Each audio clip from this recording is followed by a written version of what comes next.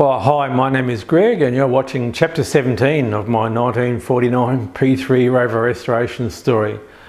Uh, if you've been watching this series, you, will know that I'm fairly well progressed with the restoration on my P3 Rover, and in the last chapter, uh, I began to cover the reassembly process after I'd had some quite extensive uh, rust repair uh, and the painting done on the car.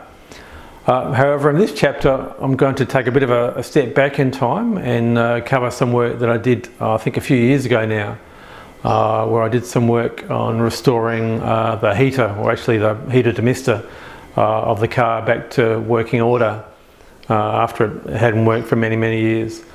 there'll be, I guess, a bit of a, a familiar pattern with how I, I, go about producing this video, or I'll cover really the problem solving exercise that I went through, uh, explain you know, why I went about doing the job in the way that I did.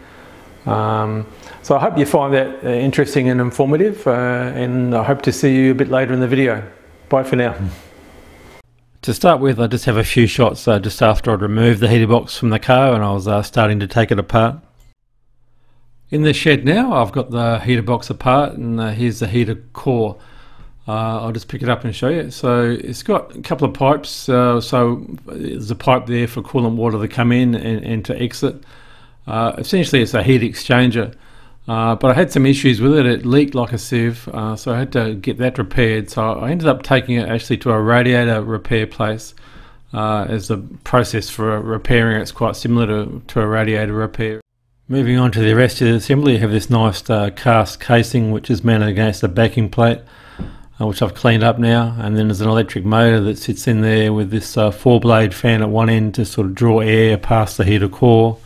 And then at the other end of the electric motor, you have what I'd describe as a paddle fan, uh, which, as far as I can see, his main job is to uh, push air out uh, through two outlets in the in that casing.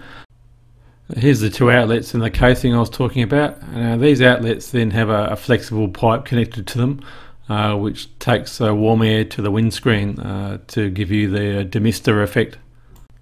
These mating parts had uh, rubber seals between them, which, uh, to be honest, I didn't initially recognise as rubber seals because they are so badly deteriorated, as you can see in some of these photos about to come. Here you can see the inlet and outlet pipes to the heater core with what was left of the rubber seal. At first I thought these parts were joined with bitumen, but no, it's just 70 year old rubber. Some pretty heavy rust stains on the backing plate from where the heater core had leaked over the years. Uh, just a few random shots of the disassembly here.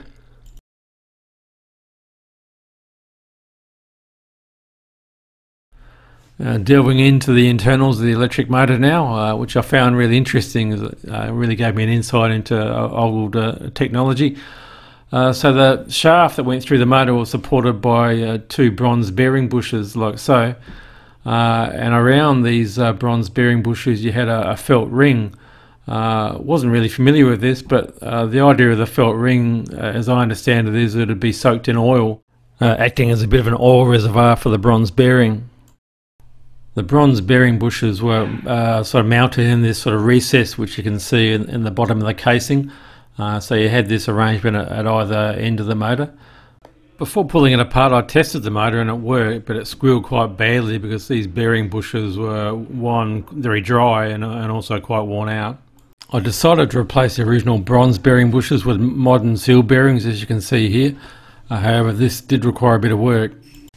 I turned up a couple of inserts, uh, showing one here, uh, which I designed to fit into the bottom of the housing uh, in that recess uh, that I'm focusing in on now. I designed the insert so that it would be a precision fit inside the, the motor housing and that in turn uh, the bearing would be a, a, precision fit inside the insert. I did consider finding a bearing that would be a direct fit inside this recess but the problem I had was uh, uh, that the diameter of the recess didn't seem to correspond to any uh, sort of logical bearing size and also the diameter at either end of the motor was different by about five thousandths of an inch. Here you can see one of my inserts uh, fitted into the motor housing. Uh, I'll describe briefly how I turn up these little uh, precision inserts. I started with a piece of aluminium bar which I uh, held in a collet chuck as you can see here. I used a high speed steel tool bit to turn the outer diameter as you can see here and then uh, for the bore I uh, first drilled out uh, material to close to the bore size and then I used a, little boring bar that I'm pointing to here. Here's the assembled motor. I'm not sure you can see it too well here, but at the top of the motor there are little holes where you can add oil for maintenance lubrication. I like the original design with the bronze bearing bush and the and the sort of oil reservoir with the the felt ring.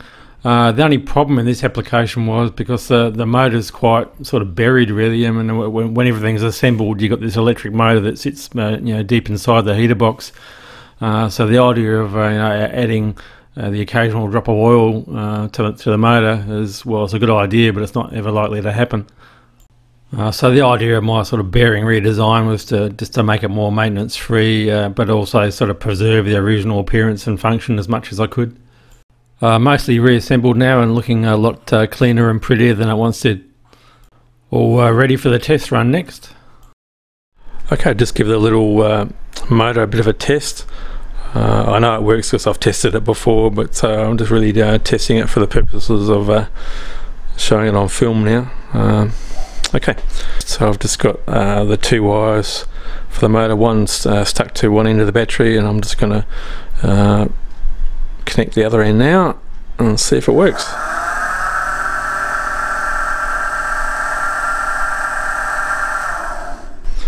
Beautiful. So well, as you can't see, I should probably put some streamers on the on the two outlets so you can see the air coming out, but it uh, it, it, works quite well. And uh, lastly, here's a shot of the heater box uh, back in situ. Uh, whilst cleaning up this casing, I managed to uh, accidentally erode the writing that you can see on this identification plate, but I do have a plan to fix it. Uh, I have managed to obtain some special paper that's designed for making your own decals, so I'm going to have a go at making a decal to replace the old writing. I used an old photo that I'd taken before I'd cleaned the casing up as a reference point uh, to try and match the original uh, font and spacing. It took a little while to get a match, but it worked out okay in the end. The next part of the process was just to coat the paper in two to three coats of uh, clear acrylic. Worked out quite well. Uh, next I cut to size two and a quarter by one inch. Here we have the finished result, uh, close, closer and closest. Uh, really quite happy with how it turned out actually. Well, hi again. Uh, with this I'll wrap up uh, chapter 19 of my 1949 P3 Rover restoration story uh, covering the restoration work that I did on the heater and demister in my car. Uh, I'll just say a few things as I wrap up today because we are living in pretty unusual times at the moment. Uh, so as I sign off on this chapter on the 15th of May 2020, uh, much of the world is in a, a state of lockdown and uh, efforts to slow the spread of the COVID-19 virus. Uh, in my uh, job outside of tinkering on my P3 rover, I, I work as a, a, middle manager in the healthcare industry. so as you can imagine, that's had its challenges recently. I'm not in the front line, but I'm really just one step removed from those who are. Um, so it's been both a good and a bad thing. Uh, the good news is I'm not likely to be out of work anytime soon. Uh, the bad news is uh, I've uh, been extra busy at work and uh, therefore uh, haven't had as much time to spend tinkering on my P3 as I, as I would have liked. however, I'm very much aware that in the grand scheme of things, that's a, a pretty small problem to have in an environment where you know, many have uh, lost their work in recent times. Uh, so I'm very much aware of that and, and thankful that I, I, do have a job.